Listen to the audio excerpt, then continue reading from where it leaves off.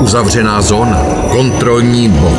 Černobyl. Jedna z nejhorších jaderných havárií historie. Ta havárie všechno změnila. Lidé, kteří byli nuceni opustit své domovy, Z našeho života už tu nezůstalo nic. se nyní poprvé vrací na místo tragédie.